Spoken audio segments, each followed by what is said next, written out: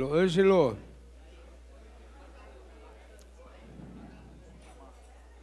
É, Ângelo, vem aqui para frente.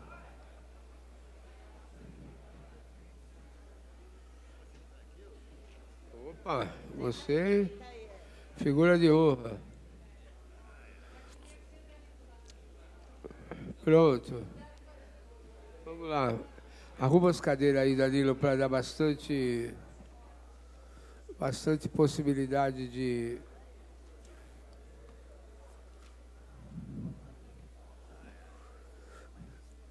Tá ruim essa cadeira? Danilo, arruma a cadeira para o Dibal. Arruma a cadeira. Bom. Podemos começar?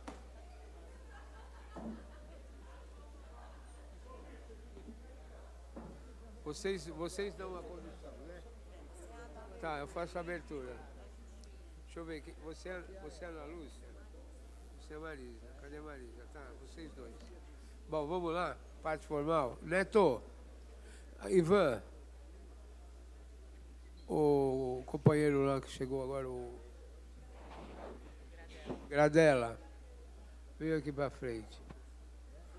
Companheiro da POS, como é o nome dele? Vem pra cá. Pra cá, João.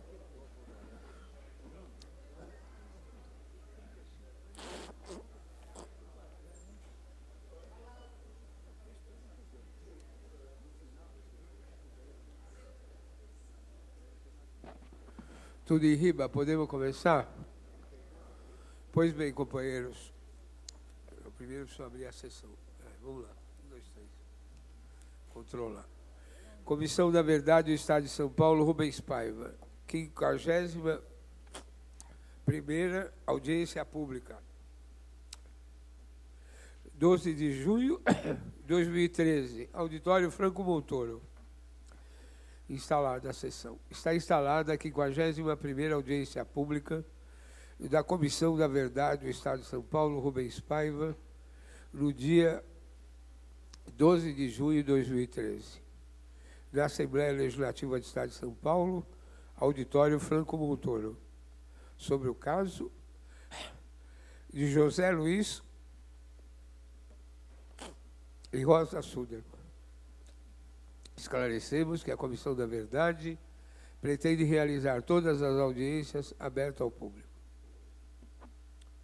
Hoje estamos começando a reparar um crime que, embora não tenha sido, que não tenha ocorrido no período da chamada ditadura legal, 64 85, estamos começando a contar a história de um crime político, político, que ocorreu e até hoje não esclarecido.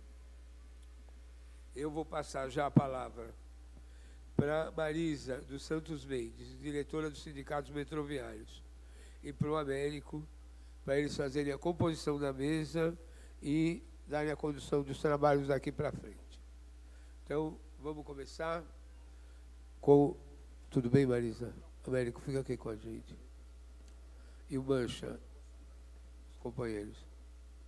Então vamos lá. Agora vocês daqui para frente vão tocando o jeito que vocês é, organizam. A... Marisa, com a palavra.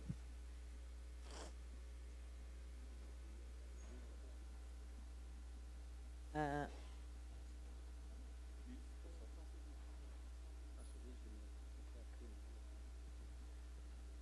é, bom, é, a gente queria iniciar, né? Nós temos uma lista aqui de companheiros e companheiras para falarem aqui no ato. A gente gostaria de iniciar, antes de chamar os companheiros para vir aqui para frente, de iniciar com um vídeo né, que foi feito sobre a, a, a história, né, e a gente gostaria de iniciar com esse vídeo e depois com um poema do companheiro, companheiro Atinágoras vai, vai colocar aqui para a gente, para a gente iniciar o nosso ato. Então, antes de chamar as pessoas para falar, a gente gostaria de iniciar com o, o vídeo aqui. De, é, são três minutos o vídeo, tá?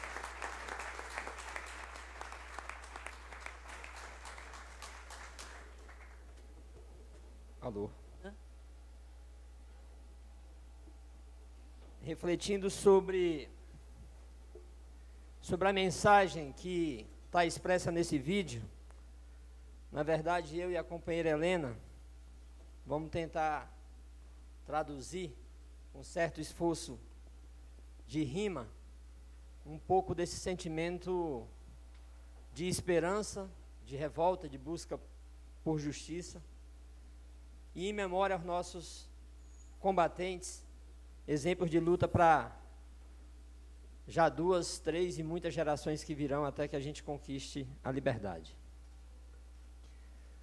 As risadas e o cheiro do café ainda pairam na casa.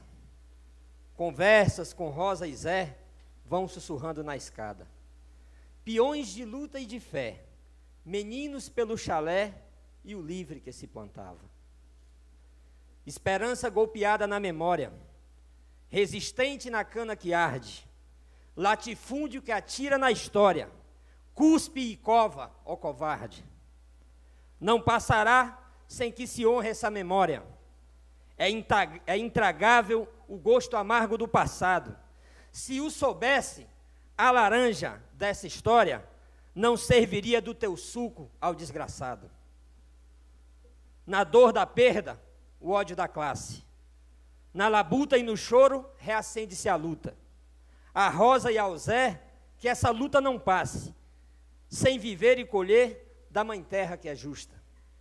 Sandeman em nosso peito, Sandeman em nossa luta, Sandeman nosso feito, Sandeman na labuta, Sandeman por justiça, no combate à opressão, Sandeman socialista, por paz e revolução, Sandeman que persista e possa nos pôr à vista o fim da exploração. Tudo na casa grita. O campo e a cidade agita. Clamando contra a injustiça, exige condenação.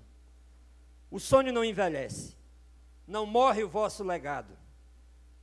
Dar um mundo a quem merece por tanto ter trabalhado. E eis que a colheita cresce no livre que foi plantado.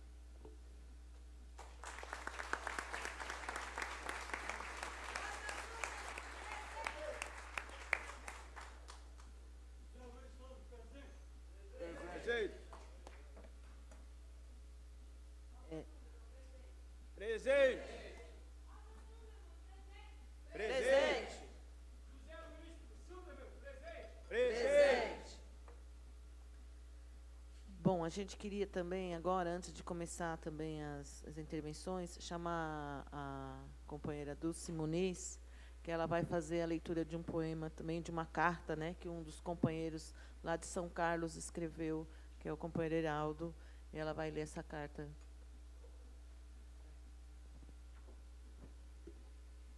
Faz 19 anos. Em uma daquelas madrugadas, eu e o Zé Seguimos com os ônibus dos trabalhadores até a sede da fazenda. Rosa e o João Zafalão foram pelo caminho de Descalvado. Eram quatro horas e trinta minutos aproximadamente. Estávamos em uma estrada no meio do canavial quando apareceram cinco viaturas e fecharam nosso comboio. Os policiais eram por volta de vinte e se encontravam com a arma em punho. O Zé parou seu carro, que seguia à frente do comboio, e pediu que eu fosse até o ônibus e chamasse os trabalhadores para que todos descessem. Imediatamente eles desceram, também com seus facões, e fizeram um cerco aos policiais. O capitão Souza ordenou ao Zé que todos deveriam entrar no ônibus e guardar suas armas. O Zé disse ao capitão que só faria isso quando seus policiais fossem para seus carros e guardassem as suas armas.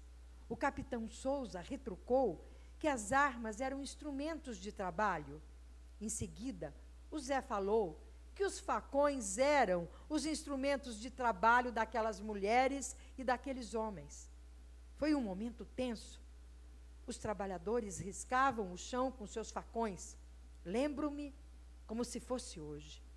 A negociação durou de 15 a 20 minutos, até que o capitão concordou em liberar o caminho, mas fez um gesto com sua arma, dirigindo-se ao Zé e disse que ali tinha algo que era dele, o Zé, em clara ameaça. Chegamos à sede da fazenda e lá também tivemos outro momento de tensão com o dono da fazenda. Acho que era Titoco o nome dele. Na mesa de negociação estava o capitão Souza, que batia com sua arma na mesa com novas ameaças. Em seguida, fomos até a agência do Bradesco, no centro da cidade de São Carlos, onde os trabalhadores ocuparam a agência até que fosse liberado seu pagamento que estava atrasado. O Zé e a Rosa, como parte do mesmo organismo que eu, relataram algumas vezes situações de ameaça, telefonemas, carros estranhos rondando sua casa. Espero ter contribuído. Heraldo.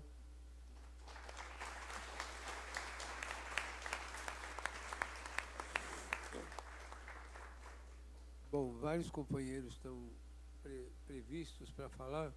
Só vamos apresentar essa formação dessa mesa básica.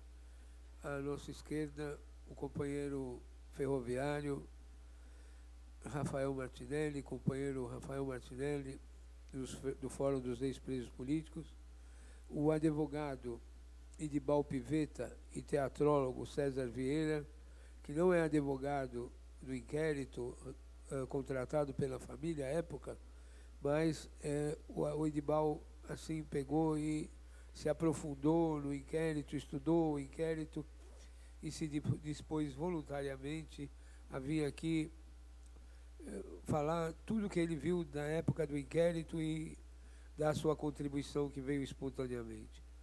Temos também a companheira Marisa dos Santos, da diretoria dos metroviários, companheiro Mancha, do Sindicato dos Metalúrgicos São José, e o companheiro advogado Américo Gomes, Américo Astuto, que é o companheiro que costura toda essa questão da memória do movimento operário, da convergência e da resistência. Então, agora vocês dão a condição. Né? É, vamos dar início à nossa atividade, ou continuar.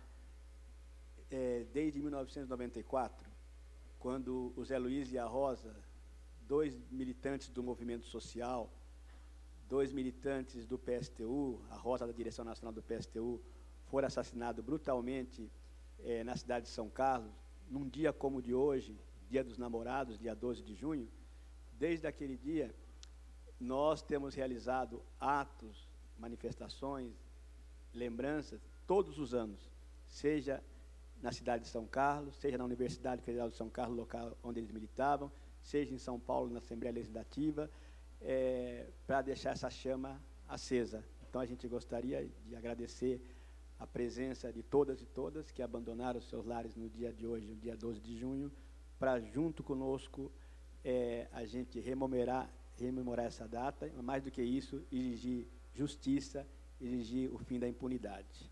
A gente gostaria de chamar o primeiro pessoa para falar e dar seu depoimento. É, primeiro a, a, que a gente quer chamar aí é o companheiro Antônio Donizete, que é o Doni, lá de São Carlos, que militou muitos anos com o Zé Luiz e com a Rosa lá e vai dar um depoimento para a gente aqui.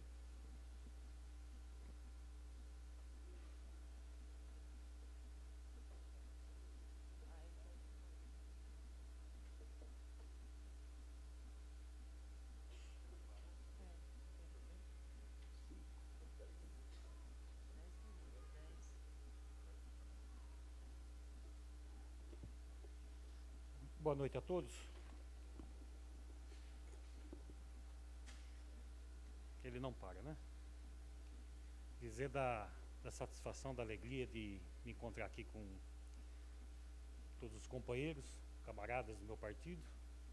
E vocês perceberam, passei ali para dar um cumprimento em Dibal, porque Dibal esteve naquele primeiro momento no inquérito, né, no, acompanhando o inquérito e a apuração.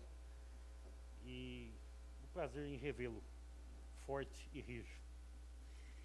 É, disfarço aqui ah, o sentimento que tive, inclusive na leitura do relato do Heraldo, porque ainda passado 19 anos, a gente se emociona muito. Também percebia da emoção do João, do próprio Heraldo, e talvez de tantos outros aqui que não vi. Mas é muito difícil, é, inclusive, resgatar essa história, porque nós estivemos, e, e eu particularmente é, estive com o Zé Luiz é, até a sua morte, não só como um camarada do, do mesmo partido, mas também como um amigo, porque a nossa relação se misturava é, da questão partidária, mas também da questão pessoal. Eu frequentava a casa do Zé Luiz, assim como vários outros companheiros aqui de São Carlos. E até, desculpe, e até quando é, me disseram de fazer esse relato da vida pessoal do Zé, é, eu dizia também para os meus colegas aqui, para os camaradas, da dificuldade de separar o que era a vida pessoal do Zé Luiz da sua militância. Porque o Zé Luiz vivia, respirava essa militância. Né? O, o trabalho que Zé Luiz desenvolvia na Universidade Federal é, que, se, que até hoje é relembrado em cada manifestação, em cada ato, é, em cada enfrentamento que nós temos lá na relação trabalhista com a universidade, ainda se ouve no meio da, da plateia, ah, se o Zé Luiz estivesse aqui. Então, é, talvez, até pela, pela emoção que sinto agora, talvez não consiga me estender muito, mas dizer que é, Zé Luiz era uma, era uma mistura dessa, dessas questões pessoais de uma cerveja, de um churrasco no final de semana na casa dele, mas sem nunca, no meio disso, estar pautado uma questão para a gente resolver imediatamente na semana seguinte. Isso era Zé Luiz. E particularmente na greve dos canavieiros em 93, nós dirigíamos o Sindicato dos Trabalhadores da Universidade e fizemos um acordo de divisão de trabalho, onde Zé Luiz disse, Doni, você segura as pontas aqui na universidade, já que naturalmente a categoria cobra a presença do seu dirigente, que eu vou é, tocar, eu vou é, tratar da questão da greve. E assim foi, a gente dividiu, e, claro, muitas vezes ele para o sindicato e eu também lá na greve dos canavieiros. E, e aquela foi a luta é, histórica que é lembrada não só por nós, mas por toda a cidade. Né? É um marco na cidade o que foi a greve dos canavieiros, de 93.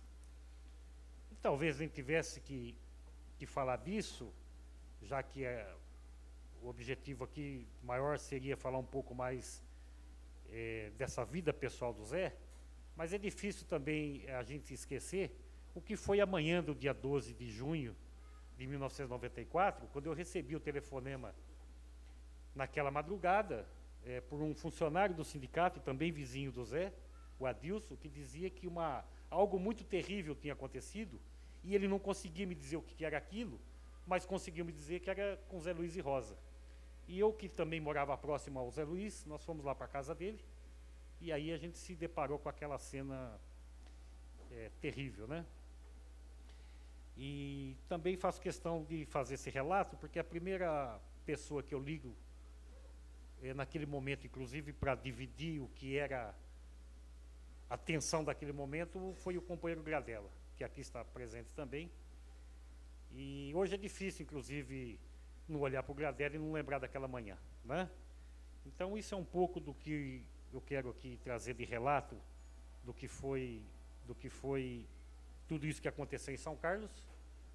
E talvez para finalizar, voltando um pouco mais para a questão pessoal do Zé, é dizer da ansiedade dele para resolver as coisas, assim, para ver as coisas.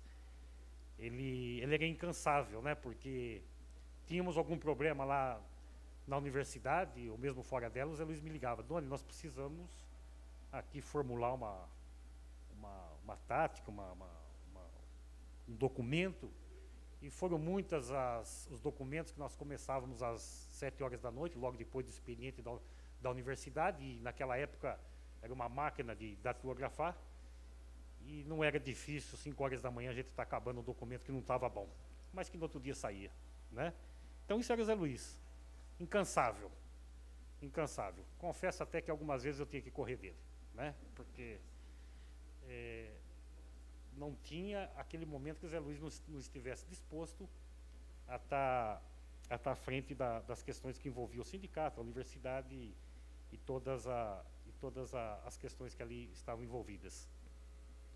E também conheci o Zé Luiz justamente no momento em que eu, funcionário da universidade, era um menino, é, com 15 anos, e logo após ter uma mobilização desses meninos, porque a gente queria uma, um cargo na universidade, porque nós éramos é, é, classificados na universidade como aprendizes, né? E começou a ter uma inquietação, porque a gente sabe, bom, nós vamos ser aprendizes até quando, né? E foi justamente Zé Luiz que organiza essa molecada para fazer um enfrentamento lá naquela época com a ditadura, né? Porque os representantes da ditadura estavam dentro da universidade, não foi nada fácil. Mas Zé Luiz parece que brincava no parque infantil com essa molecada, organizando eles, por uma questão que foi vitoriosa e que me fez, inclusive, é, cerrar fileiras do partido que hoje estou, o PSTU. Isso tudo é Zé Luiz. Não vai ser possível no tempo que tenho lembrar de cada coisinha e falar aqui, porque são muitas as coisas. Mas dizer da saudade e da dor que eu tenho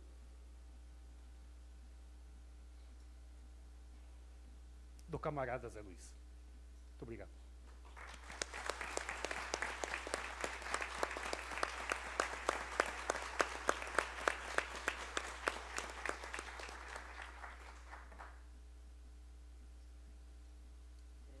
Queria chamar também agora para falar a companheira Ana Luísa Figueiredo, que é diretora do sindicato Sintrajude, né, Sindicato Judiciário de São Paulo, e dirigente do PSTU.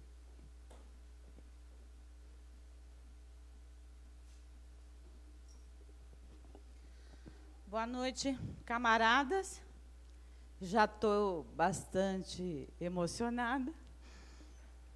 É, é uma honra falar da Rosa, é uma honra falar desses companheiros, é, principalmente neste momento em que a nossa cidade, a nossa juventude se levanta e enfrenta os militares que hoje permanecem né, na, na, nas polícias aqui dessa cidade, com os mesmos métodos da ditadura, e, portanto, é muito correto e agradeço aos companheiros e companheiras, membros da Comissão da Verdade de São Paulo, aqui dessa eh, companheiro Diogo eh, e todos os companheiros que estão na mesa, por compreenderem esse, esse fio de continuidade que é lutar para esclarecer a morte, o assassinato de Rosa e de Luiz, como parte da luta pela verdade, como parte da luta para que a ditadura neste país eh, arque com as consequências dos seus crimes, para que não se repitam esses crimes. E a Rosa e o Luiz é o exemplo de que não está resolvida essa questão no nosso país que não existe democracia para a classe trabalhadora e para a juventude no nosso país, que luta como Rosa, que luta como Luiz. Até hoje, a resposta da burguesia são balas, bombas e repressão e prisão. E nesse momento tem presos é, dentro aqui da polícia, estão presos é, jovens que estavam ontem e nesses dias lutando pela redução da passagem. E a Rosa é um exemplo de mulher eh, que muitas vezes, não só no nosso cotidiano, mas também no, no movimento sindical, eh, muitas vezes nós não, não damos a devida atenção, porque a Rosa não era diretora do sindicato. Né? A Rosa era a companheira do Luiz, e uma companheira que foi ganha por ele e por todos nós, militantes da Convergência Socialista, para a luta revolucionária. Então, mesmo não tendo, não sendo diretora é, do Sindicato dos Trabalhadores e das Trabalhadoras da Universidade Federal de São Carlos, ela era reconhecida como tal, como uma dirigente dos trabalhadores e das trabalhadoras da Universidade de São Carlos. E ela participava no dia a dia, em todas as lutas, junto com seu companheiro, muitas vezes, como nós que somos mães, levando nossos filhos, levava seus filhos, levava o Dudu, levava a Raquel para todas as reuniões e para as atividades. E com o sacrifício de a dupla jornada, com o sacrifício que é a militância revolucionária, participava no dia a dia. É, a companheira começou a participar do partido, ainda é, da nossa organização, que depois compôs o PSTU, é, no, fini, no, final dos anos 70, anos 80. Foi parte, junto com o Luiz, de toda essa luta que nossa geração fez para derrubar a ditadura militar.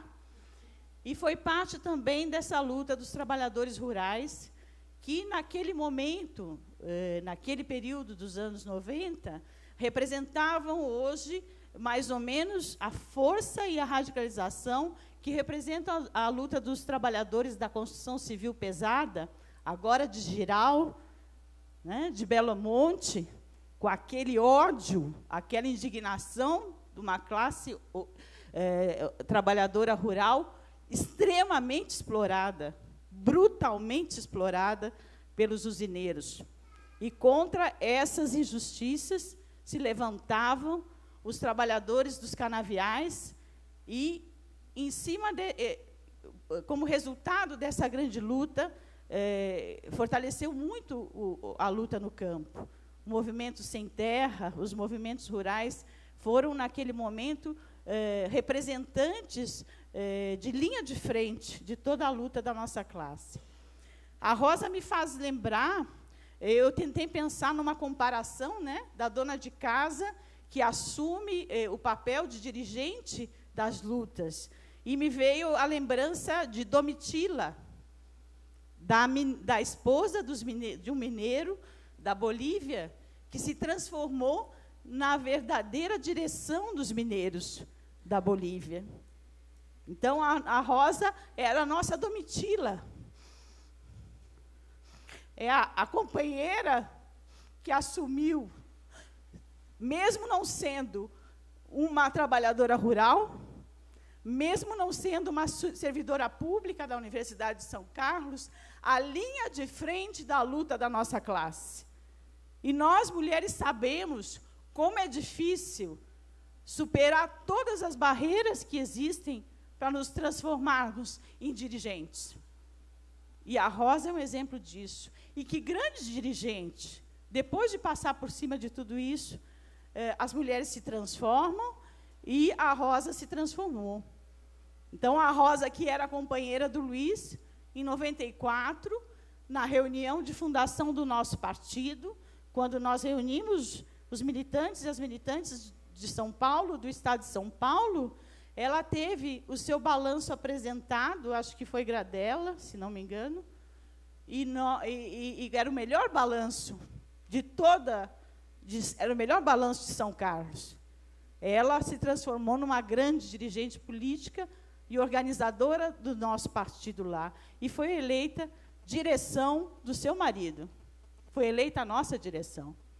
Então, essa é a rosa, e ela representa muitas outras rosas, e é, sem dúvida, eu comparo a nossa Domitila. E para nós é um grande orgulho homenagear a Rosa e dizer que nós não vamos esquecer dela e que muitas outras mulheres, como hoje já militam e dirigem a nossa organização, como hoje militam eh, e estão na linha de frente das nossas lutas, são um grande temor para a burguesia. A forma brutal como esses companheiros foram assassinados ao mesmo tempo que nos desespera e nos entristece, elas, ela demonstra o medo que eles têm de nós. O medo que eles têm da nossa consciência. E eles usam as suas balas porque sabem que o seu dinheiro não nos compra. E a Rosa e todos que estão aqui e todos que seguem lutando têm esse grande valor. Nós não nos vendemos. E nós vamos seguir lutando e nós vamos exigir a justiça, apuração desses crimes e de todos os crimes da burguesia, dos usineiros, de todos os carrascos e exploradores da nossa classe. Rosa, presente.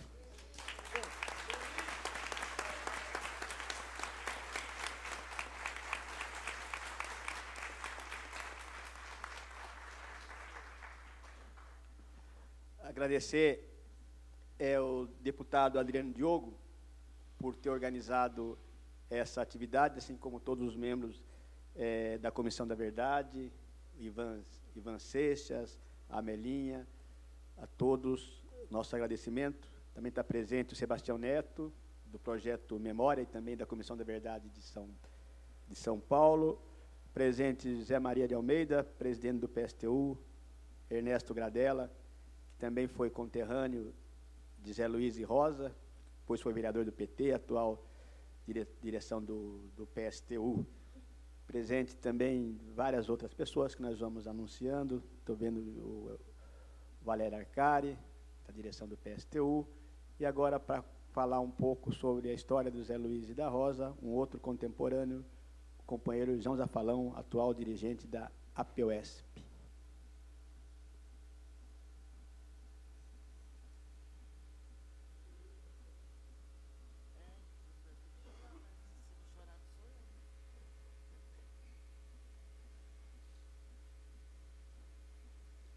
Noite, companheiras e companheiros.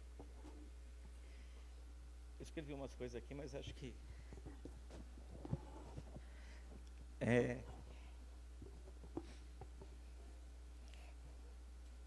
Em 2003, eu era estudante.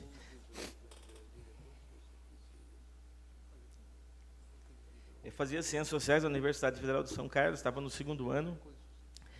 E o Sindicato, o Sindicato dos Trabalhadores da Universidade Federal de São Carlos, era tido em toda a região, não só em São Carlos, mas em toda a região, como mais combativo dos sindicatos, pela luta que travava. E o Zé Luiz era uma pessoa muito conhecida na região, com destaque como dirigente. E quase todos os dias, isso foi um ritual que a gente continuou fazendo, mesmo depois da morte do Zé, o Doni lembra? Quando dava 5 e meia, 6 horas, a gente passava no sindicato para tomar um cafezinho e ir embora. E teve um, uma tarde que a gente passou no sindicato e, de repente, encosta três ônibus. E a gente achou estranho, ônibus é, bem velho, caindo aos pedaços, e desceu do ônibus mais de 100 trabalhadores rurais, cortadores de cana. E foram lá, bateram na porta do cinto fiscal, perguntando quem era o Zé Luiz, que eles queriam falar com o tal do Zé Luiz. E o Zé Luiz estava lá, a gente foi conversar com os trabalhadores, e eles diziam assim, nós somos cortadores de canas da usina Ipiranga, uma usina que tem aqui de Descalvado, a gente ganha muito mal, não tem nenhum equipamento de proteção individual, que eles não tinham equipamento de proteção individual, e a gente quer fazer uma greve. E a gente quer saber se vocês podem fazer a greve para a gente aqui. E o Zé Luiz falou para ele assim, bom, quem faz a greve são vocês, mas nós vamos ajudar a organizar essa greve. E dali foram 15 dias de uma greve, o Heraldo citou no relato dele alguma, uma parte daquela greve, foi uma greve espetacular, uma greve que polarizou não só São Carlos, como a região, porque foi uma greve que tinha trabalhadores em greve na cidade de São Carlos, uma parte dos cortadores de cana da cidade de Araci, que é um bairro muito pobre de São Carlos, é, tinham trabalhadores que moravam em Descalvado, e tinham trabalhadores que moravam em Santa Teodóxia, que é, uma, é um distrito de São Carlos, fica um pouco afastado, e eles viviam numa situação de semi-escravidão, em 1994, na cidade considerada capital de tecnologia. Semi-escravidão, porque os operários rurais, os cortadores de cana de Santa Teodócia, eles viviam nas casas que eram cedidas pelos gatos, que eram os cooperados, os donos das cooperativas em tese. E eh, esse gato cedia a moradia para ele, esse gato era o dono da, do armazém que ele fazia a compra, e ele, na verdade, trabalhava o mês inteiro e ele sempre ficava devendo e tinha uma relação de servidão e escravidão em 1994, numa cidade tida como capital da ciência e tecnologia. Essa era a realidade, e essa era a greve, e eram essas pessoas que Zé Luiz e Rosa se dedicaram a representar e a organizar naquele momento. E aquilo, para os poderosos da região, foi algo inaceitável, porque teve muito apoio popular. E durante a greve, tem só um fato que quero dizer aqui, antes de tocar no que eu deveria falar aqui, é, a Rosa foi presa durante a greve. É, num desses piquetes, justamente em Descalvado, como cita o Heraldo, a Rosa foi presa pela Polícia Militar junto com sete outros trabalhadores rurais. Aí, na época, não tinha telefone celular. A gente reunia assim, uma parte dos Luiz em São Carlos, estava fazendo assembleia naquele dia, eu estava organizando a assembleia em Santa Eudócia e a Rosa, em Descalvado, foi presa. E no sindicato dos funcionários ficava o Doni, o Evelto, algum companheiro lá, todo mundo fazia sua assembleia, ia por orelhão, ligava a cobrar para o sindicato para poder trocar as informações. E naquele dia, quando eu liguei, foi informado que a Rosa havia sido presa em Descalvado e todo mundo se deslocou para Descalvado. E quando chegou, aconteceu exatamente isso como relatou Heraldo na segunda vez. Quase 300 peão cortador de cana desceram dos ônibus, quando souberam que a Rosa estava presa, com o seu facão na mão, e desceram riscando o facão. A polícia se cagou toda, com perdão da palavra aqui, e soltou a Rosa e os sete companheiros. E aquele lá foi um exemplo muito rico do que foi a greve, e a Rosa depois e o Zé foram assassinados em parte por conta disso pela coragem daquela greve e da resistência que foi feita lá. É, logo depois daquilo, é, acho que é importante registrar aqui, é, que tem a ver com, com, como é que foi feito o processo de investigação desse caso todo lá. Eu não sei se todo mundo aqui lembra, eu me lembro bem, a Rosa tinha uma agenda que a polícia pegou logo depois do assassinato dela, e na agenda tinha o meu nome e o nome do Heraldo. Tinha uma data, tinha o nome meu e do Heraldo naquela agenda, que, porque a gente teria uma reunião algum dia. Aí o delegado de polícia, óbvio que teria uma reunião, eram militantes da Convergência Socialista na época, do movimento pró-PST, éramos parte dos organismos do partido lá, e, e o policial militar, brilhantemente, o delegado, apesar de a gente dizer, ó, foi o Zineiro, tem o capitão Souza que ameaçou durante o tempo, o delegado brilhantemente resolveu convocar o Heraldo, me convocar para saber que era muito suspeito estar o meu nome numa agenda da Rosa, é, para perguntar o que era. Bom, foi lá, falou, eles não conseguiram nada. O Duda foi quem encontrou os corpos, o filho do Zé Luiz da Rosa. Eles fizeram vários exames de, de na mão dele, para tentar ver se tinha pólvora na mão dele. E o policial militar, os pais mortos, deram um esculacho nele, porque ele foi ao banheiro e lavou as mãos. Que é um negócio absolutamente. A, a perversidade da polícia brasileira que precisa até o dia de hoje. Essa é a polícia da ditadura que passou por 94, passa até o dia de hoje. Quase cinco, cinco anos depois, um peraí, dos atos. Peraí, que... peraí. Como aqui é a Comissão da Verdade, fala do domingo, com calma. No dia da morte? É. Não falo já. Fala de, com calma. Com calma.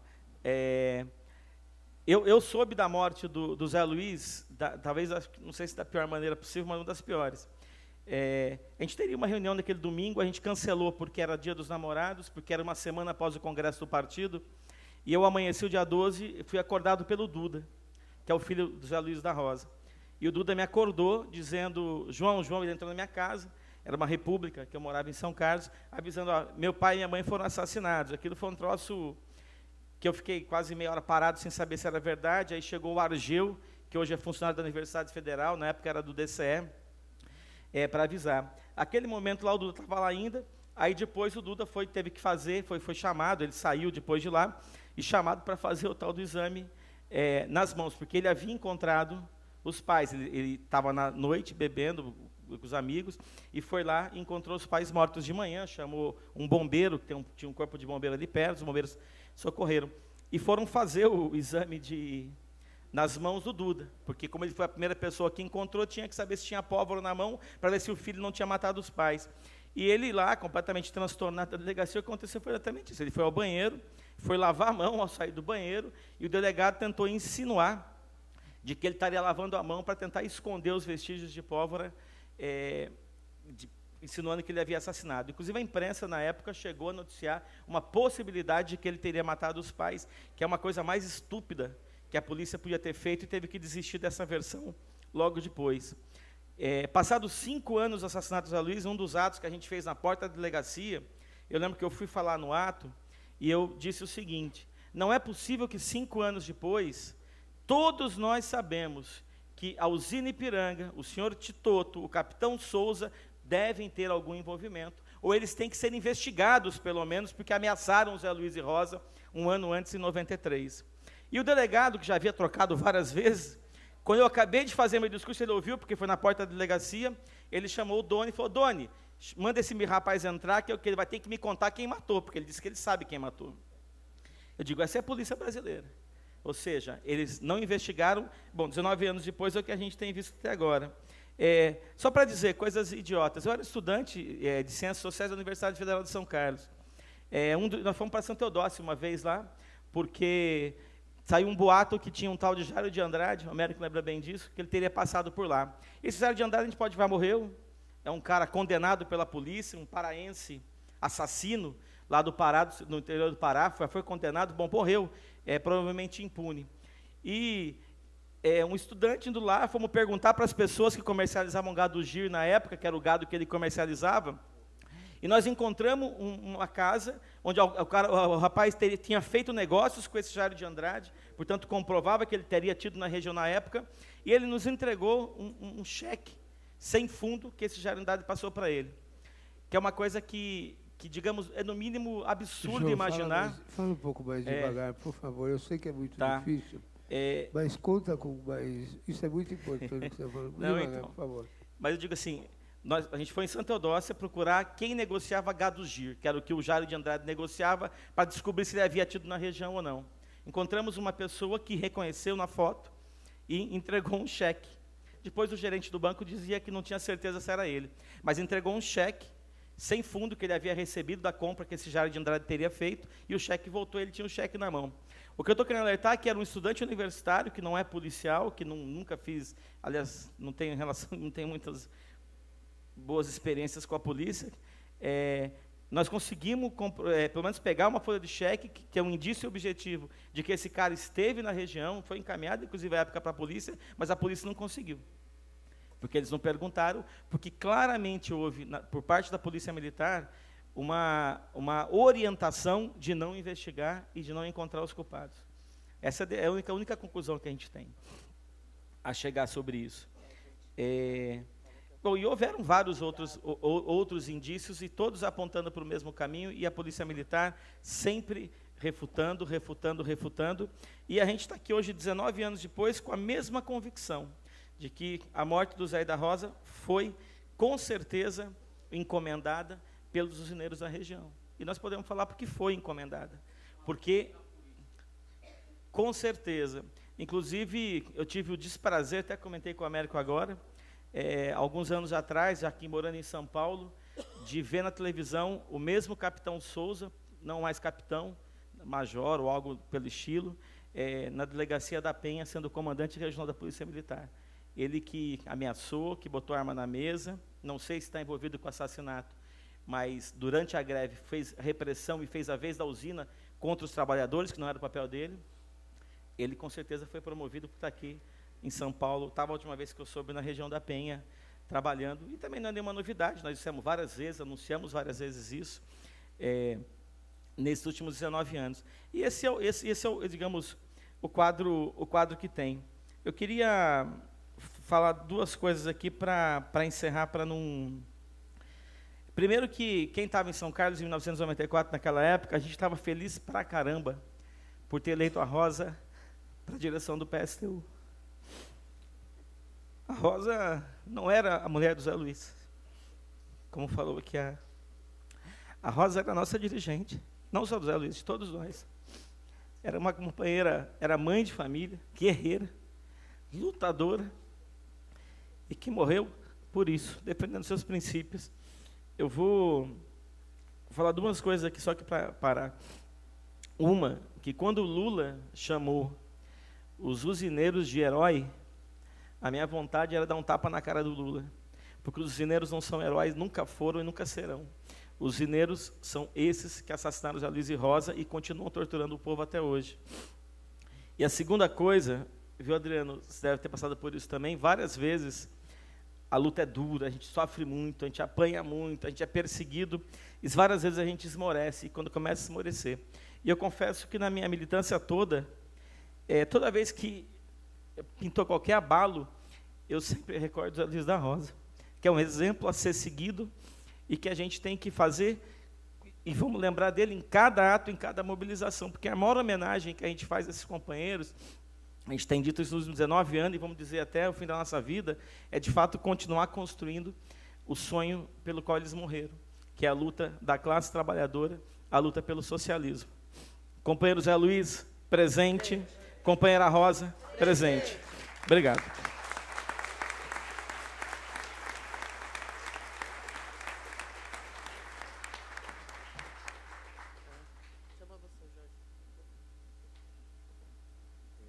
João. Agora vai falar o companheiro Jorginho, Jorge Luiz Martins, que também é advogado e ex-dirigente da CUT Nacional e também da CUT Regional. E conviveu também com Zé Luiz Rosa. Boa noite a todos, a todas. Realmente é muito difícil falar depois de, de tanta emoção da Rosa e do Zé Luiz. O Zé Luiz e a Rosa, eles tinham uma postura dirigente, na acepção da palavra, que entendia a importância da luta não corporativa. Tanto é que todos os relatos relatam não só do conflito na universidade, mas conflito em função da luta dos trabalhadores do campo.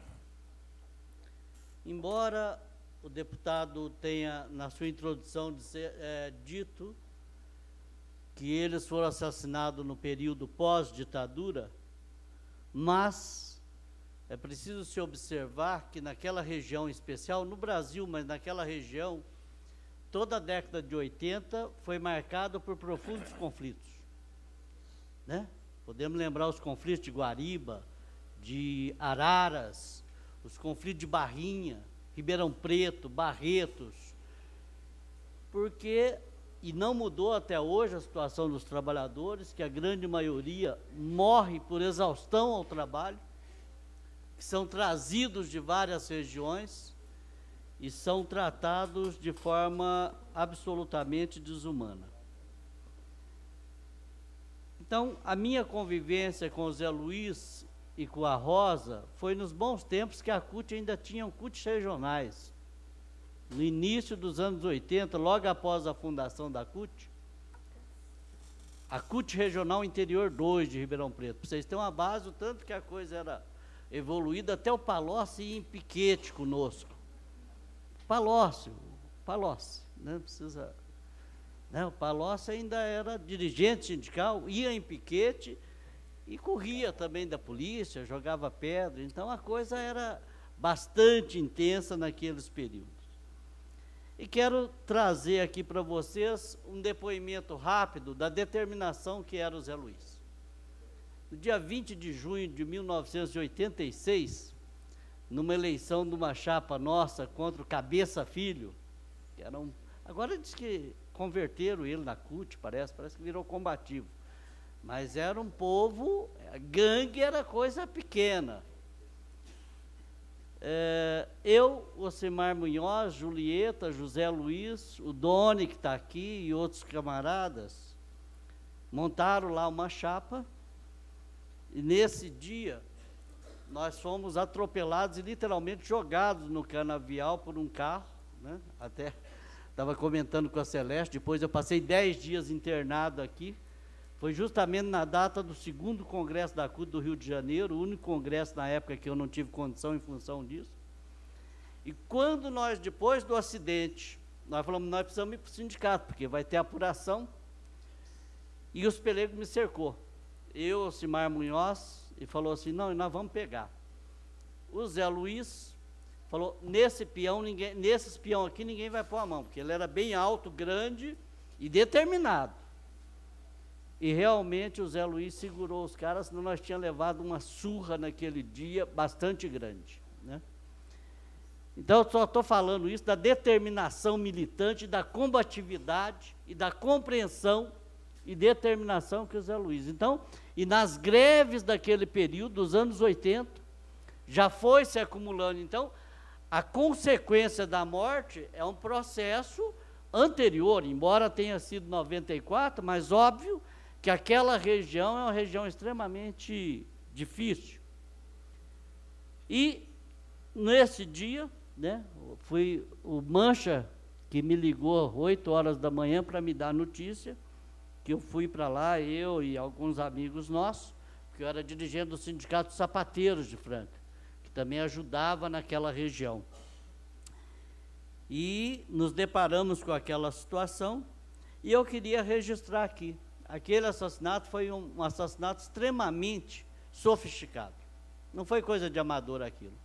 Aquilo foi pago com altas moedas. Por quê? Porque foi, se não o crime perfeito, mas feito de uma maneira para realmente ficar por muitos anos até que nós saibamos a verdade. Né? Por quê? Porque foi feito de uma maneira sorrateira. Eu não tenho nenhuma dúvida. Se o Zé Luiz tivesse tido a chance, ele teria reagido. Teria reagido. O Zé Luiz era um cara que, de arma em punho, não era um cara para amedrontar. Ele não teve a chance sequer de reagir, porque se tivesse, ele teria caído de arma em punho e teria enfrentado. Então eu queria dizer isso, né? Que quando o Mancha me falou dessa homenagem aqui, eu falei, olha, esteja onde tiver, eu quero estar presente. Nem, nem me falou que iria me chamar para fazer depoimento, hoje que ele me avisou. Mas eu fiz questão. Por quê? Porque a estrutura da polícia, da época da ditadura, ela continua intacta. Ela é podre, o Estado é podre, omisso, e não apura porque não quer. Como não apurou deles, não apurou exatamente nos termos que foi Chico Mendes, eu mesmo mantive na minha casa o GG, que foi testemunha, que teve que ficar por anos foragido e hoje teve que entrar no sistema de proteção, teve que mudar de nome, para eles não matarem o moleque que testemunhou e tantos outros. Né? Não apurou, não apura, por quê? Porque o Estado está a serviço da burguesia, em especial naquela região.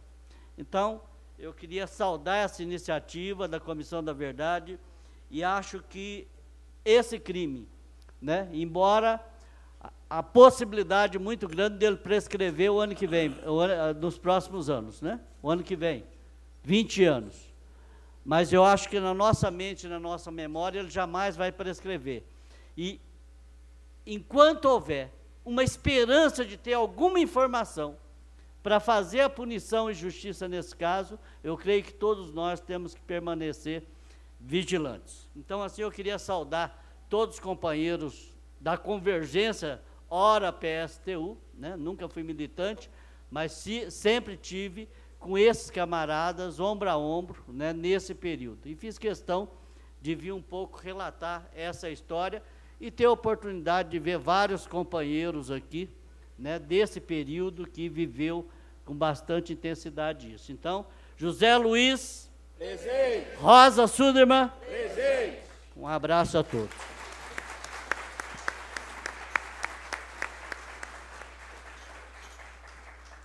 É, obrigado, Jorge. É, queria é, anunciar aqui a presença de algum, algumas pessoas, né? É, Altino, presidente do Sindicato dos Metroviários de São Paulo, tem mais alguns outros dirigentes do sindicato também, o Celso, a Vânia, o Alex, né? Não sei, e eu, né? Já estou aqui. É, a Arielle, né, do DCE da USP da ANEL, tem vários companheiros e companheiras aí do DCE da USP da ANEL também, né? É, Camila, do MML, né, dirigente nacional do MML. É, Danilo, né, que é da Comissão é, de Presos Políticos da CS também. Né? O Inácio, é, da CSP com Lutas do Vale do Paraíba. O Wilson, né, dirigente da CSP com Lutas aqui de São Paulo. E Valdemar Augusto, que é da Comissão de Justiça e Paz de São Paulo. É, é, Para dar continuidade, aí queria chamar o companheiro né, e advogado, né, é, Edival Piveta, né, que está aqui na mesa para falar sobre o, o, inquérito. Bom, falar. É advogado dos presos políticos, é bom, advogado já do movimento é, de anistia já há muitos anos. Né.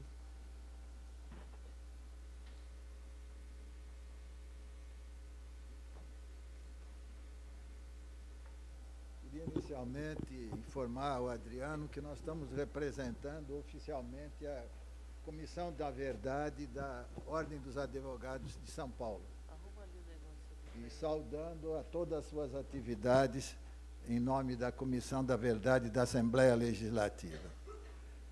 Eu queria dar um abraço no amigo ex-cliente, José Maria de Almeida, com o qual tivemos a oportunidade de escapar de um cerco policial na saída do sindicato aqui do ABC, pulando várias residências, caindo dentro de um tanque, os dois, e os dois conseguindo amansar um cachorro que se tornou até amigo e permitiu a nossa fuga por trás, enquanto outros eram detidos. Um grande abraço, Zé Maria, faz tempo que eu não te vejo, é um prazer. Você está com o mesmo jeitão exatamente daquela época. A gente tem uma profunda ligação com, com São Carlos nessas, nesses anos cinzentos da, da ditadura, tendo funcionado, trabalhando com o pessoal que estava envolvido com a, o movimento do pula-catraca, que era contra o aumento do, do, do preço da condução lá em São Carlos. Eu acho que um dos líderes se chamava Capeta, se não me engano. Não está aqui, né, o Capeta? Está no Amazonas. Então está fazendo um bom trabalho capeteando lá pela Amazonas, isso é muito bom. Bom, nós tivemos, nesse caso do Zé Luiz e da Rosa, uma participação logo a seguir à morte deles, quando foram, nós fomos chamados por uh, funcionários, companheiros da, da Universidade Federal em São Carlos. E tivemos a oportunidade de ir à casa onde eles tinham sido mortos, onde eles tinham sido assassinados. E ver que seria impossível, se não fosse um fato feito por profissionais, por super profissionais, por gente que está acostumada a fazer isso, especialmente no norte e nordeste, possivelmente pessoas trazidas de fora a peso de ouro. A casa deles, um sobrado bem modesto, né? com uma sala de entrada, onde quase, como quase todas essas casas têm, com um local onde fica a televisão, e o casal estava assistindo um programa qualquer de televisão. Quando o criminoso entrou por trás, eles estavam tão desprevenidos que deixavam a porta aberta. O criminoso entrou por trás e atirou com três tiros na cabeça dos dois, que morreram praticamente instantaneamente. A gente teve, na época, o desejo de tentar comprovar esse assassinato, fotografamos o local, ainda existiam manchas de, de sangue, e principalmente a fotografia dá para mostrar que se entraram por aqui, passaram por trás e atiraram na cabeça do casal sentado ali assistindo televisão. Para nós não fica a menor dúvida de que foi um assassinato a soldo dos proprietários de usina, especialmente da usina Ipiranga. Nas quatro ou cinco conversas que nós tivemos com os delegados, porque eles passavam de um para outro, sobre o assunto e pedindo rapidez no inquérito, eles só se enervaram e ficaram putos da vida quando nós falamos da possibilidade do dono da usina Ipiranga ter pago, ter sido o mandante. Daí ele se levantou e agrediu verbalmente a gente, dizendo: o senhor não tem provas. Não, não tinha provas. Eu tinha buscando na delegacia o encontro de provas. Essa é a função do advogado. E no dia seguinte, quando nós viemos para falar de novo com o delegado, para ver se ele tinha tomado algumas providências, ele tinha sido transferido para outra cidade, aquele delegado. E o que estava lá era um rapaz muito jovem, praticamente não sabia de nada, e informava tudo que você perguntava, vai estar no inquérito, doutor, vai estar no inquérito, doutor, vai estar no inquérito, doutor. E ficou, na medida das possibilidades, num inquérito que guardou, que datilografou na época, as falas de alguns soldados, especialmente desse delegado que ficou no relatório que ele fez. Logo em seguida, nós tivemos a oportunidade de voltar a São Carlos para participar de um ato público em busca da verdade. E fomos com o nosso grupo de teatro popular, União e Olho Vivo, que participou durante a época da ditadura praticamente de todos os atos que denunciavam a ditadura. E nesse espetáculo estavam os familiares dos assassinados, os amigos, o partido. E nós levamos essa lembrança dolorosa desse assassinato e dizendo que é muito difícil apurar, mas não é impossível apurar. Eu acho que uma boa parte dessas pessoas que sabem disso ainda estão vivas. E se pode, de uma forma ou de outra, tentar chegar a eles. Não contando com as benesses da polícia, porque eles não vão fazer nada. Mas sim seguindo algum rastro que vai descambar sempre na usina Ipiranga. Sempre na usina Ipiranga. Sempre na usina Ipiranga. Eu termino citando o sambista de Mangueira que disse no seu samba enredo: Heróis são aqueles que tombaram por nós. Obrigado.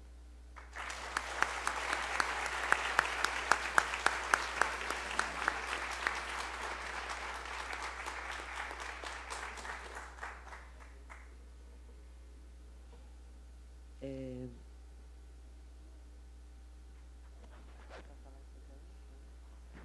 Bom, para dar continuidade aí, vou chamar o Américo Gomes, né, que é advogado do PSTU e da nossa comissão de anistia e dos presos políticos da Convergência. Alô? É, queria começar fazendo dois agradecimentos.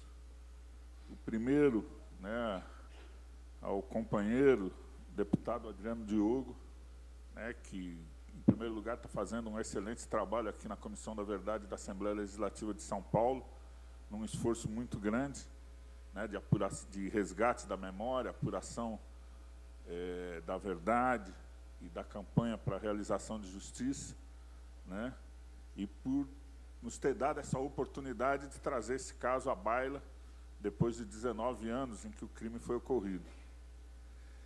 Em segundo lugar, ao companheiro advogado, né, o Idibal Piveta, que já na época do crime é, com a sua postura, sua solidariedade, sua disposição, nos deu uma ajuda muito grande. Porque nós começamos a fazer uma investigação paralela, e como vários companheiros aqui citaram, né, o tempo todo nós quisemos demonstrar que houve um crime político em São Carlos. E a polícia se negava a admitir isso, dizendo que tinha sido um crime comum. Foi exatamente como o João falou aqui. Primeiro, a primeira hipótese que eles levantaram é que o Duda, que era filho do Zé Luiz e da Rosa, tinha matado os pais. E como foi dito, era um negócio assim que uma mentira, uma calúnia absurda, principalmente para quem conhecia a família. Né? Eu que convivi com o Zé, com a Rosa, com o Duda, participamos de almoço, de jantar, né? A gente comentava as greves, como é que eram os piquetes, como é que eram os enfrentamentos, e sempre o Duda ultra animado, querendo saber como é que eram os piquetes, ele adorava a militância dos pais, tinha um orgulho impressionante. E eu digo para vocês, é, a não apuração desse crime destruiu uma família. Porque o Duda depois morreu anos depois, num possível acidente, numa cachoeira, de onde ele caiu, mas passou anos absolutamente desgostoso, seja pelo assassinado, assassinato, seja pelas suspeitas que foram levantadas. Depois disso se levantou suspeita, como se falou, de militantes da organização na época da Convergência Socialista, se levantou suspeita de dirigentes sindicais, se levantou qualquer tipo de suspeita, menos que teria sido um crime político que estava relacionado à, à atividade política que o Zé Luiz e a Rosa tinham desenvolvido. Como se falou aqui, o crime foi feito por profissionais. E começou a falar. Entraram na casa, mataram os dois com os três tiros. O primeiro foi na cabeça do Zé Luiz, que estava sentado assistindo televisão. Certo? E, como o Jorginho citou aqui, Fizeram isso porque sabiam quem era o Zé Luiz. Zé Luiz era um cara grande, valente, determinado. E digo para vocês, Zé Luiz e Rosa treinavam a atirar constantemente. Os dois manejavam armas e sabiam como lidar com as armas. E eu que frequentava a casa deles, sabia que o Zé Luiz guardava a arma dele atrás da televisão. Então, portanto, ele sabia o seguinte: se o cara errasse o primeiro tiro, e quem conhece o Zé Luiz sabe que ele ia fazer isso, ele ia pegar a arma e ia reagir. Não tem a menor dúvida. E por isso contrataram um assassino profissional, que entrou na casa e deu o primeiro tiro na cabeça dele. Ele caiu. E os outros dois tiros foram para a Rosa. A Rosa viu o assassino, tentou se levantar, ele deu o segundo tiro, que pegou no antebraço dela, e depois se aproximou e matou ela com outro tiro na cabeça. E foi assim que mataram os dois. Porque sabiam, conheciam o tipo de gente que era. Então, assassinos profissionais, hipótese mais provável, que trouxeram de fora, porque na região ninguém conhecia. E é isso, e por isso que eu falo da, da ajuda na época do Piveto, que foi importante, para moralizar. Né? Nós fizemos essa investigação paralela, estava lá eu, João Zafalão, Heraldo, Belezinha, né, e outros companheiros, a gente ia atrás dos usineiros, investigava os policiais, morrendo de medo. Porque, inclusive, várias vezes, tinham policiais que, por exemplo, iam nas casas das pessoas disfarçados. Por exemplo, lembro de um caso de dois policiais que foram numa, na casa dos pais do Zé Luiz, inclusive falaram com a gente, falaram que eram policiais. Nós pegamos o nome deles, no dia seguinte fomos na delegacia e falamos: Nós, ontem veio na casa do Zé Luiz dois policiais, nós queremos saber por quê. Foi Fulano e Beltrano tal. Os caras falaram: Não, aqui não existe nenhum policial com esse nome. Então era gente com documento falso, que se apresentava nas casas, entende? Forjando, inclusive, a investigação. Entende? Demonstrando isso. Quem estaria por trás disso? É lógico, não, não, existe uma outra alternativa.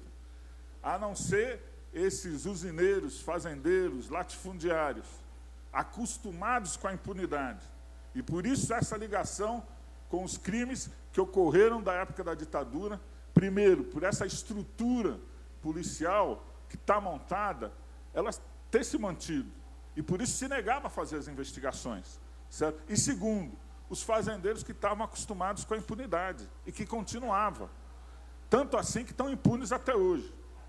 Dona estava me contando, por exemplo, nós tentamos agora, para preparar esse ato, ir atrás de algumas informações. E o Dona me dizia o seguinte: o pessoal até hoje tem medo. A família do Zé Luiz, a família da Rosa tem medo. Tem medo de dar entrevista, tem medo de dar declaração. Porque eles falam o seguinte: pô, se mataram o Zé Luiz, mataram a Rosa, entende? Os caras tinham uma organização por detrás, fazem ato todo ano, fazem campanha, e não pegam os caras que mataram eles, como é que eu vou dar declaração? Quem sou eu para poder enfrentar esse tipo de coisa? Então, esse problema do combate à impunidade é fundamental. Se tocou aqui também que existe a possibilidade da prescrição do crime no Brasil no ano que vem, porque ocorreu há 20 anos. Por isso é muito importante a gente se incorporar nessa campanha que o movimento sindical e o movimento popular está fazendo com relação à mudança da lei da anistia. Entende? Essa lei de anistia que garante a impunidade aos agentes de Estado que torturaram, que mataram, que sequestraram.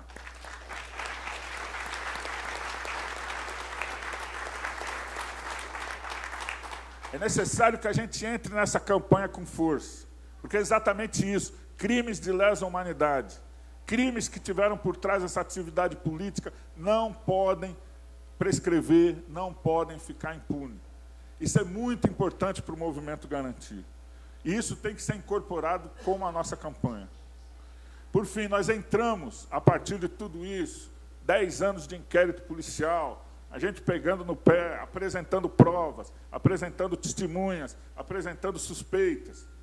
Apresentamos uma carta que a, via, a vereadora, né, Julieta, lá de São Carlos, recebeu, apontando isso, que um dos suspeitos seria esse fazendeiro do Pará, Jário de Andrade, que criava a mesma marca de gado que os fazendeiros da usina Ipiranga criavam lá em São Carlos, e que era conhecido como assassino de trabalhadores do MST lá no Pará. Ele tinha na sua ficha corrida de 6 a 10, 6 a 10 assassinatos. Inclusive, depois disso, só andava de branco. porque falava que tinha feito a paz com Deus, depois de ter matado tanta gente. Certo? Esse cara convivia em São Carlos. Nós conhecemos gente que levava ele nos bordéis da cidade, levava ele para comprar gado na cidade, para comprar tratores e tudo mais. É isso. Arrumamos cheque, mostramos que ele estava lá, exigimos que ele fosse ouvido. Entende? E isso não ocorreu. Entende? Então isso ficou em aberto. Por isso, nós entramos com uma denúncia na Corte Interamericana de Direitos Humanos da OEA sobre a responsabilidade do Estado brasileiro de não ter apurado esse crime. Né? Nós tivemos uma vitória importante que foi a denúncia foi admitida na OEA. O Estado brasileiro disse que não tem responsabilidade e que a gente devia ter continuado a recorrer dentro do Estado brasileiro. No entanto, foi acatada a tese, que inclusive está virando uma certa jurisprudência na Comissão Interamericana, que inquérito, polici é, inquérito policial não tem recurso, não tem nenhuma forma de você fazer algum tipo de recurso ao inquérito policial, principalmente depois que ele está arquivado. Ao ser admitido isso, nós estamos fazendo essa campanha. Nós estamos mantendo essa denúncia e é muito importante essa campanha. Por quê? mesmo que prescreva o crime do Brasil, esse tipo de crime não prescreve na Corte Interamericana. E ela pode exigir, sim, do governo brasileiro de fazer a investigação e de punir os responsáveis por esse crime. Então, a realização desse ato aqui é muito importante. É aquilo que vários companheiros falaram. Nós não deixamos esquecer Zé Luiz e Rosa nesses 19 anos. Não vamos deixar esquecer isso daqui para frente. E nós vamos fazer de tudo para que ocorra justiça com relação a esse crime. Porque esse, como todos os crimes políticos que foram cometidos nesse país, não podem ficar impunes. Por isso, a necessidade de punição exemplar a todos esses que atacaram os dirigentes do movimento operário é uma necessidade do movimento. Então, eu agradeço a vocês e digo o seguinte: a campanha não acaba aqui. A nossa luta vai continuar e nós não vamos esquecer de Zé Luiz e Rosa. Obrigado.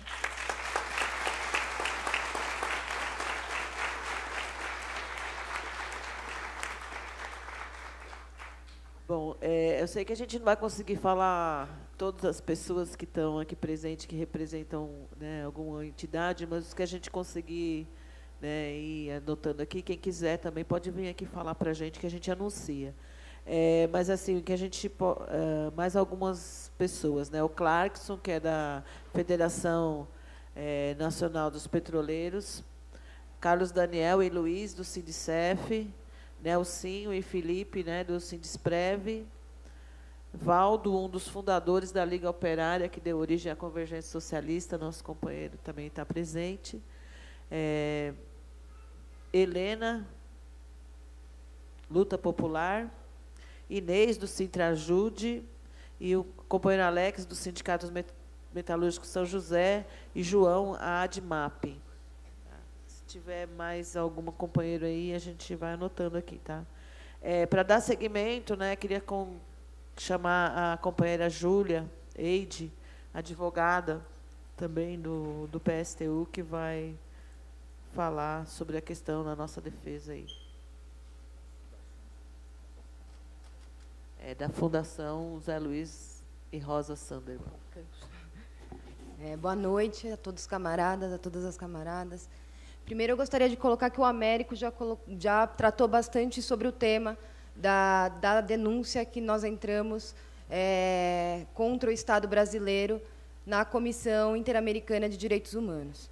É, quando a denúncia foi feita, é, o Estado, nós colocamos que o Estado brasileiro ele negligenciou completamente as investigações, e acho que isso já está claro pela fala de todos os companheiros, é, não foi acatada as provas que foram pedidas pelos advogados, pelos companheiros que militavam junto com José Luiz e a Rosa, não foi feita a oitiva das testemunhas, não foi colhido os depoimentos, né? e por duas vezes o inquérito policial foi arquivado. Né? Isso, por si só, evidencia a negligência do Estado em não fazer as investigações da forma como deveria proceder.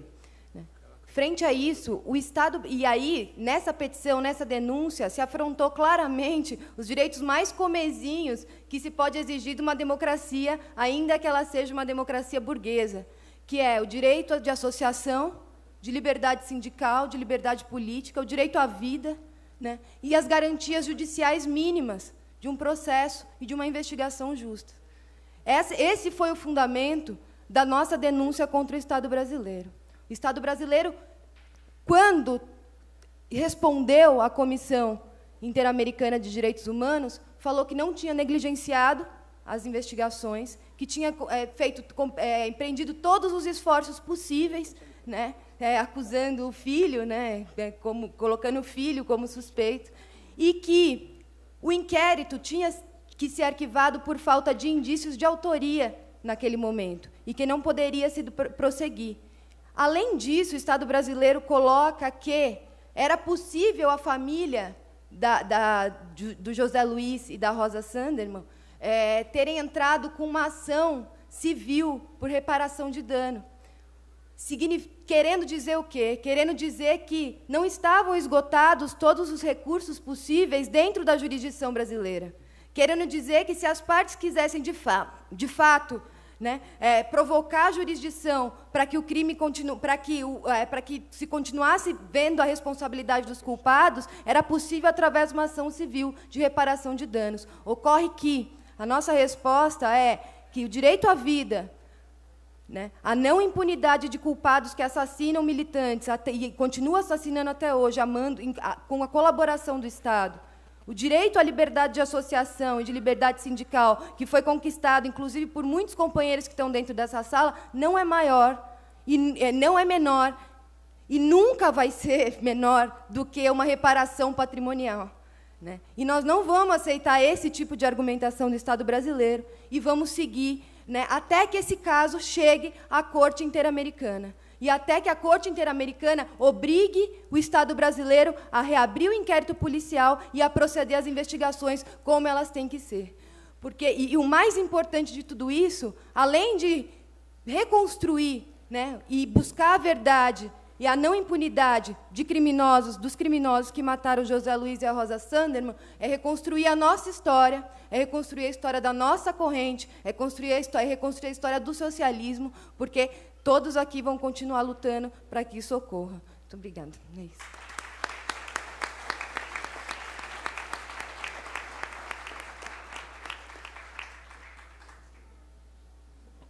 Agora o companheiro Rafael Martinelli, que é da ferroviário e um grande combatente aí dos perseguidos políticos, desaparecidos e da anistia. Tá bom, boa noite, companheiros e companheiras. Eu só vou falar porque tem muitos jovens aqui. E os jovens estão ouvindo os companheiros o que significou a luta sindical tanto, vamos dizer, na área democrática como na ditadura. Dizer, então, até hoje, nós viemos de um ato agora há poucos dias do Lavance. É preso com a gente, morto, está jogado na rua. Quer dizer, quando alguns companheiros ainda levantam, que às vezes eu também faço essa autocrítica, que ainda a gente está vivendo com as caras da ditadura, comandando, dirigindo e determinando certas coisas no judiciário, na política. Isso estão vendo. Nós estamos criticando sempre isso. Agora, está vendo à tona, isso é importante, né? Essas denúncias que estão fazendo com, a, com as, as comissões da verdade, está vindo à tona vários, vários fatos. Vários fatos meus de crime. Não só, porque hoje a gente está levantando coisas, coisas, ah, vamos dizer, há pouco tempo, mas nós somos do tempo de 64. Centenas e centenas de camponeses mortos em Pernambuco da, das, das ligas de camponeses, então, nunca levantaram nada. Quer dizer, os caras da ditadura, da área, ainda continuam ainda proibindo que a área democrática levanta esses problemas. Isso é importante.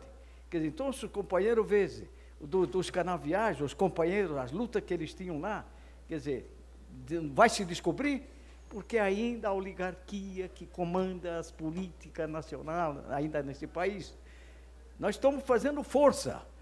Aonde? No exterior. Brasília é condenado porque é o único país que tem polícia militar. É o único país que tem polícia militar. Está aí. Estamos vendo a juventude. Nós não estamos dando ordem na juventude, não. Não estou vendo o partido determinando nem nada, não.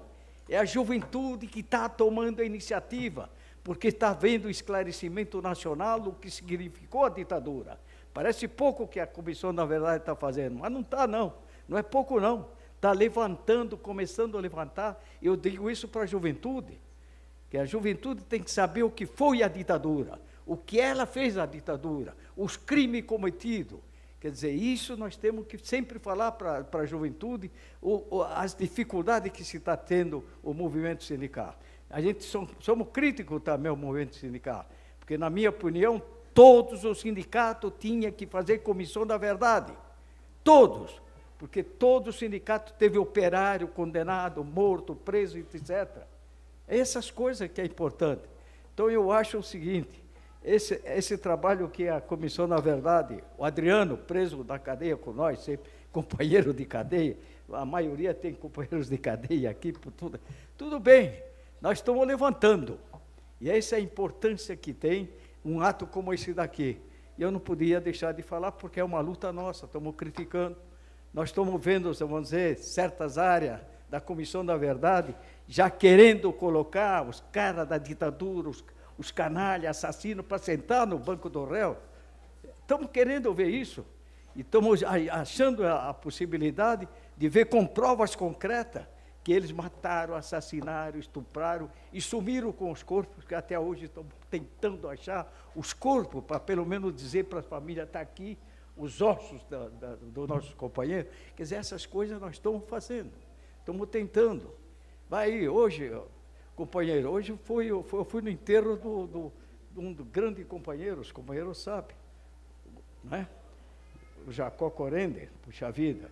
É, ele é de 23, eu sou de 24, quer dizer, nós estamos na idade de chegar aos 90 anos, também. Mas é, são homens que lutaram contra a ditadura, foram torturados e tudo mais. Estamos ainda vivendo para mostrar para a juventude, para que ela pegue na mão o problema das liberdades, das lutas, dessas coisas todas, a liberdade. Porque todo mundo fala liberdade sindical, nós não temos liberdade sindical nenhuma. Nós estamos chegados ao governo.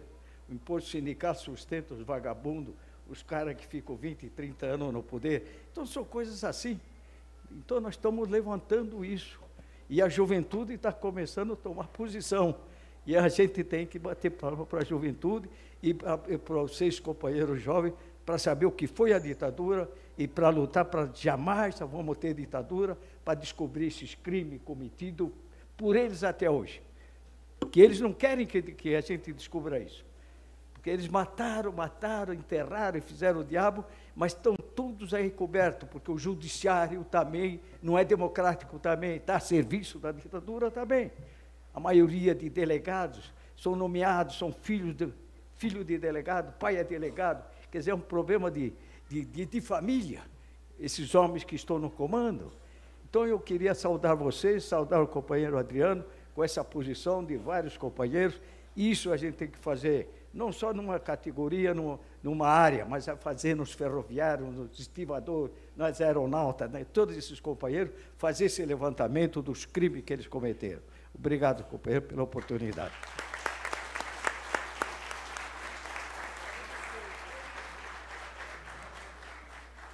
Obrigado, Martinelli. Presente também o companheiro Gilson, da Associação Democrática por Moradia e Direito Social, do Pinheirinho.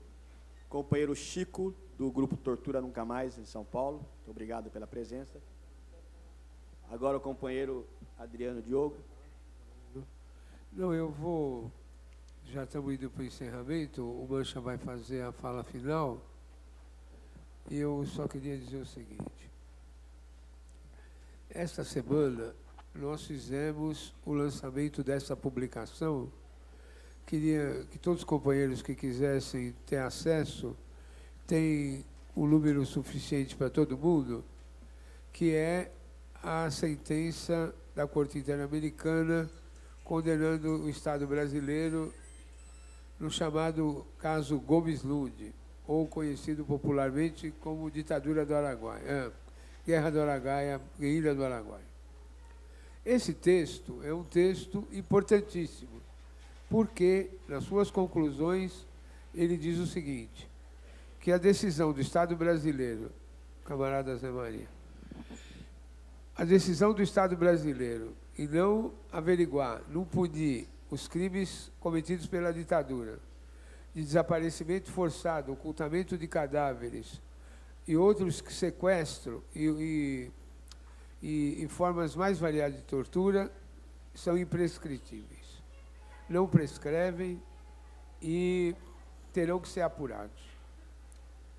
Acho importantíssimo que a convergência socialista, o movimento de memória da convergência socialista e o PSTU tem uma postura, uma postura a mais combativa, a mais participante, companheiro Mancha, Américo, todos os companheiros não medem esforços para levantar principalmente a parte do financiamento da repressão, da parte das empresas, da participação das multinacionais em todas as fases. Por que, que eu estou dizendo isso? Porque nessa questão da ditadura, da resistência, são muitos os pontos que nos unem.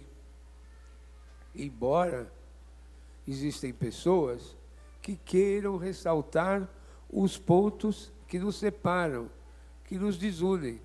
Por exemplo, aquele comentário do Jorginho, que eu falei do pós-ditadura, foi totalmente desnecessário e gratuito, pois eu disse do que é considerada ditadura legal para efeitos de apuração, que é o período eh, eh, compreendido entre 1964 e 1985. Assim como tem o período que, teoricamente, é chamado período coberto pela anistia, que é aquele período que vai até 1979, e nós temos um caso onde de terrorismo de Estado, que foi o atentado ao Rio Centro, que foi cometido no, na véspera do 1 de maio de, mil, de 1983, que foi um crime concebido na cúpula do governo militar para pôr a bomba embaixo do palco onde estava se realizando o show, travar todas as portas, embora os militares que foram fazer o atentado só conseguiram pôr a bomba no relógio de luz e um morreu no atentado e outro saiu gravemente ferido. Então, por que, que eu estou fazendo essa introdução e breve? O Américo já teve a oportunidade de introduzir o tema. Se nós não conseguimos fazer um movimento nacional, unificado, de massas, pela revisão dos crimes da ditadura, nós não temos por que como reclamar de todas as deformações e os crimes que continuam a ser cometidos até os dias de hoje, como participação das empresas no, no financiamento do sistema repressivo, delação dos companheiros, demissão em massa, perseguições e, e outras formas de, criminal, de criminalização e formas de execução que existem até hoje nos grupos de extermínio na chamada resistência seguida de morte. Então, hoje foi um dia importantíssimo. Recuperamos um crime que político, crime político, que ocorreu fora da chamada ditadura legal. E entre nós existe um enorme campo de alianças que podemos caminhar juntos para rever essa concepção que é a base do acordo, a base do acordo da conciliação entre classes foi o acordo da anistia, o acordo da conciliação, o acordo do silêncio e o acordo que gerou esse tipo de democracia amarga que ninguém de nós consegue engolir. Este acordo, este acordo, lógico, tiveram vários acordos. A lei da, a, lei, a, a própria constituinte, houve vários acordos. Mas esse é o acordo, é o, é o acordo do nó mais bem amarrado. Os segredos da ditadura, os segredos de uma ditadura de classe que oprimiu o povo brasileiro e que cujas consequências visem até hoje. Quais os erros que foram cometidos? Só transformar isso na luta parlamentar, até, através de projetos valorosos companheiros, valorosos companheiros que dentro do Congresso Nacional introduziram esse tema, mas que não passa da primeira comissão. Passa da primeira.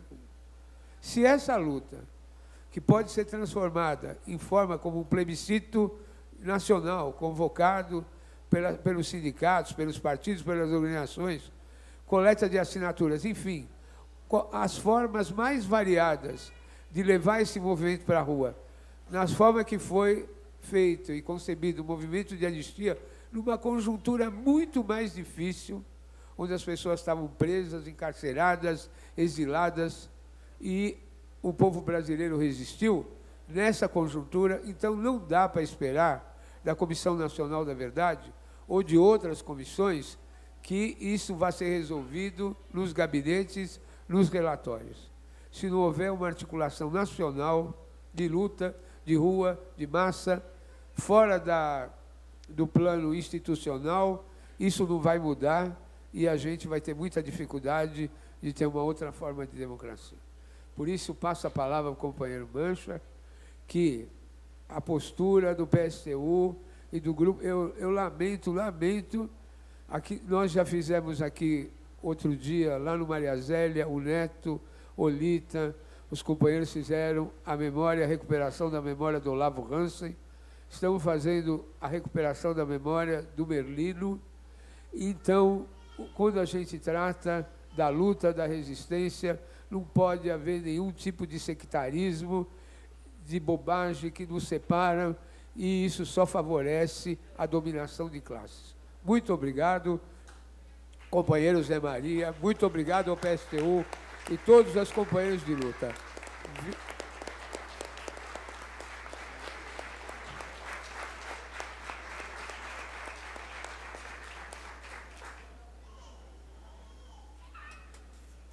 Assim, também uma, antes do Mancha falar, né, queria colocar uma coisa que é o seguinte, é também uma forma da gente manter viva, né, essa luta, né, da, da Comissão da Verdade, nós da Convergência Socialista, da antiga Convergência Socialista, né, estamos num processo, né, de anistia dos presos políticos e perseguidos políticos. Temos 70 companheiros que foram que estão é, no processo já alguns, né, o Américo depois, sei lá, no, quantos Américos já conseguiram que já terminou o processo? Seis? Quinze? Então, quinze já, já, já foi é, anistiados, né? E temos mais agora uma série de, de companheiros que ainda estão né, com processo. Aqui nessa sala tem vários companheiros e companheiras que estão também nesse processo. Eu, o Mancha faz parte desse processo, o Américo, a Lena, a Karen, é, o Alex também aqui, né? Que é todos os companheiros que eram da ex-convergência, ex o Danilo, o, o Valdo, o Raimundo, são vários companheiros que estão aqui, companheiras que também né, estão é, nesse processo de anistia, que também tem a ver com essa luta é, pela punição e pela reparação né, das, das barbaridades cometidas pela ditadura. Então, para finalizar o nosso ato também, o a palavra com mancha. É, companheiros e companheiras, nós como foi dito hoje, 12 de junho. Essa data, ela nunca passou, ela nunca foi esquecida. Muitas vezes, como disse o João Zafalão aqui, foram feitos atos na frente da, da delegacia, em alguns momentos ato com oito ou nove pessoas, ato na reitoria da universidade, mas é uma luta persistente, que já durou 19 anos e durará o tempo todo para a gente relembrar a memória do Zé Luiz e a Rosa. Agora, esse ano, nós podemos dizer que essa luta está sendo maior. É com muita satisfação, e mais uma vez a gente agradece ao Adriano Diogo e à Comissão da Verdade por ter proporcionado esse, esse momento, e aqui está presente aqui os grandes lutadores que têm resgatado a memória do movimento operário, do movimento de esquerda, do movimento sindical no combate à, à ditadura, como Martinelli, como Neto, como Ivan Seixas, como a, a, Melinha, muitos outros, Idibal Piveta, que foi o grande, um grande advogado de todos os presos políticos do país, talvez um dos maiores advogados dos presos políticos, e que demonstra isso, a importância de a gente resgatar a história do combate ao regime militar e resgatar o seu fio de continuidade. E o Zé Luiz e Rosa, como já foi dito aqui é, pelo Adriano, ele fez questão de fazer, e ele sempre tem, tem, tem levantado essa bandeira para não se esquecer, apesar de ter sido fora do período de 85, que seria o período onde formalmente a Comissão da Verdade teria que investigar, também levantou essa bandeira. Então, para nós, isso é uma atividade muito importante.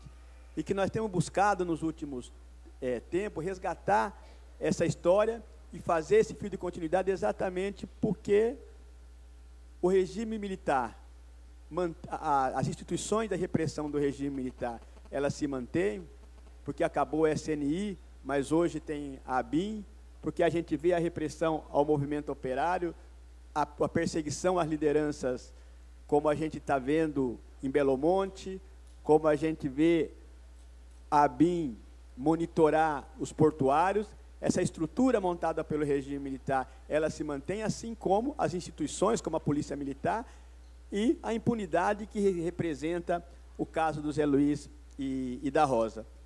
Então, nós precisamos ampliar esse processo de mobilização. A homenagem que nós fazemos hoje ao Zé Luiz e os, os relatos emocionantes que foram feitos aqui, como uma pessoa, é, um, um, um socialista, um combatente, um revolucionário, Zé Luiz e a Rosa, como pessoas humanas, a Rosa Zé Luiz, eles, eles eram os, grandes organizadores do churrasco, das festas, das confraternizações, inclusive com o pessoal que estudava em São Carlos, sempre tinha esse elo que era, que era os dois. E, Donizete, Doni, eu acho que a melhor homenagem que nós podemos prestar, mais um momento, ao Zé Luiz e Rosa é a gente conseguir levantar em São Carlos uma comissão da verdade. E que pode até ter o nome de Zé Luiz e Rosa Sanderman. Para poder investigar os crimes da ditadura, que São Carlos foi um polo de resistência do regime militar.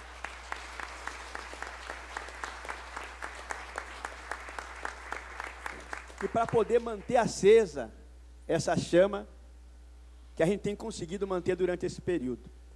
As iniciativas que estão tendo de formação de, de comissões da verdade, como no Sindicato dos Petroleiros, como no Sindicato dos Metroviários, como no Sindicato do, de, de Correios de Pernambuco, é, como agora o Centro de Memória que está se fazendo no Sindesprev São Paulo.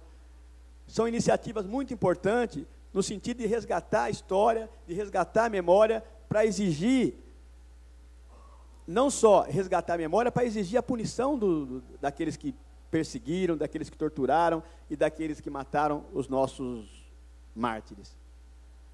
Porque, como foi feito, como foi dito aqui pelo, pelo Adriano, a anistia ampla, geral e restrita que se reivindicou nas ruas em 79 não significava anistia para os militares, nem tampouco anistia para os torturadores.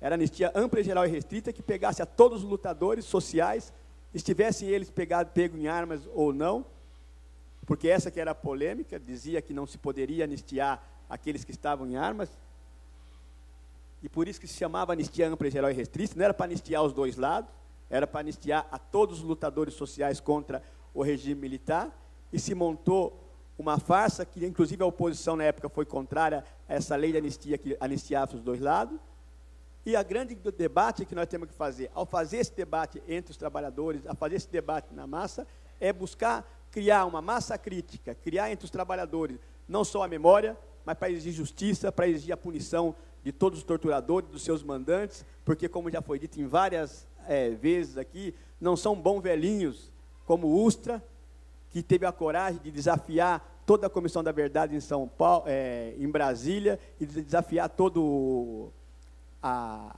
a plenária chamando de terrorista, que tem que ir para a cadeia, o USTRA tem que ir para a cadeia, como uma prova que nós precisamos punir os torturadores. E é preciso que a gente consiga fazer um amplo movimento desse. Então, por exemplo, no dia 25 de junho, agora, né, Américo? Vai haver é, em São Paulo, na Comissão da Verdade da Câmara Municipal, vai haver um testemunho do Delfim Neto. Delfim Neto vai ser porque Delfineto é um dos, dos empresários que financiou o regime militar, mais do que isso, foi ministro no regime militar. Então ele vai prestar um depoimento na Comissão da Verdade. É importante que os companheiros de São Paulo estejam presentes nesse dia, para evitar, inclusive, a provocação que a direita pode fazer. Tem que estar presente nesse dia. Aqui também, é, na Comissão da Verdade de São Paulo, no dia 19 de, de junho, né, Adriano? De junho, vai haver é, o depoimento dos companheiros da Liga Operária que foram presos em maio, no dia 4 de maio de 1977, 28 de abril. Foi antes do 1 de maio. E no dia 4 de maio foi o dia que começou as manifestações que tiraram os companheiros da cadeia depois de algum tempo. Que vai ter, o Zé, o Zé Maria vai estar fazendo o seu depoimento, a Márcia Baceto Paz, acho que o Dival Piveta também como advogado vai estar aqui. E seria importante a presença também do pessoal para poder fazer com que isso repercuta dentro das diversas é, categorias. Tá? Então, são atividades bastante importantes e nós temos que colocar cada vez mais essa campanha, essa campanha na rua. Eu queria terminar agradecendo a presença de todos vocês nesse dia, como eu disse, dia de hoje, 12 de junho. Todo mundo, a todos que estiveram presentes, para a gente poder levantar a memória de Zé Luiz e Rosa, para a gente dizer a melhor homenagem que nós podemos prestar a eles é continuar a nossa luta pela transformação da sociedade, pela revolução socialista e para a punição dos torturadores e todos os mandantes dos crimes da ditadura militar e, inclusive, dos mandantes depois, e para poder também acabar e destruir todo o aparato repressivo que ainda continua intacto. Parabéns por vocês terem participado dessa atividade e ter visto até aqui. E agora a gente termina essa atividade, um bom retorno aos seus lares, ao som da Internacional Socialista. E aos namorados e às namoradas.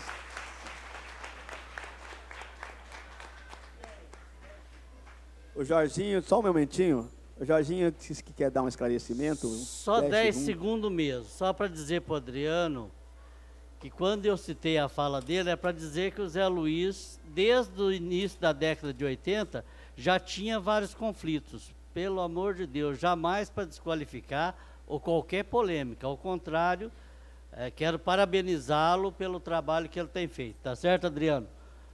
Quero deixar bastante claro isso para não ficar nenhum mal-estar. Obrigado. Ok, obrigado, Jorginho.